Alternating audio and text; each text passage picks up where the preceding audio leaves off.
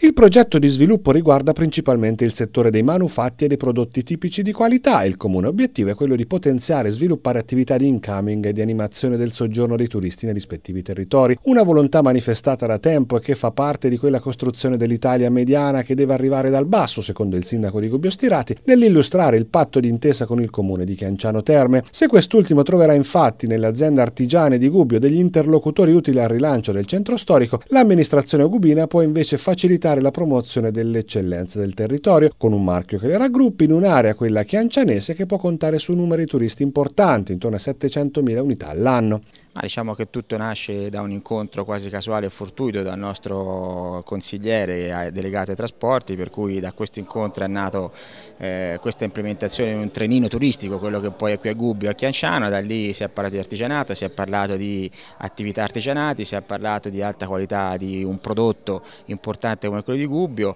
noi avevamo un centro storico che in qualche modo si stava un po' spopolando, un po' desertificando soprattutto sugli esercizi commerciali, abbiamo ottenuto la disponibilità di una decina di negozi negozi di proprietari per avere per tre anni i negozi gratuitamente, è iniziato questo percorso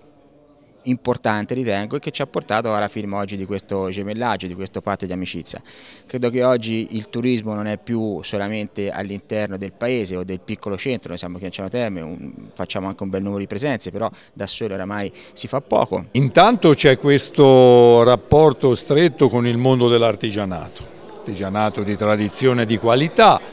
che può trovare dire, nuovi spazi di mercato, nuove vetrine, nuovi luoghi per potersi raccontare, esprimere e, e promuovere. E poi diciamo che c'è questo lavoro al quale io credo tantissimo e che io insisto con il definire integrazione territoriale, cioè i rapporti tra le varie regioni, le Marche, la Toscana in modo particolarissimo, eh, fino all'Emilia Romagna per quello che ci riguarda ed è un tema trasversale questo che riguarda la formazione, riguarda l'artigianato, riguarda il turismo, riguarda la cultura, riguarda le infrastrutture, riguarda i servizi, i trasporti, la mobilità, la sanità. Previste dunque azioni mirate in ambito turistico a cominciare dalla reciproca promozione negli uffici di accoglienza turistica sui canali comunicativi a propria disposizione e sabato 6 agosto sarà una giornata di festa a Chianciano Terme con diversi appuntamenti che vedranno l'insediamento delle aziende gubine nel centro storico e la partecipazione della società Balestrieri di Gubbio.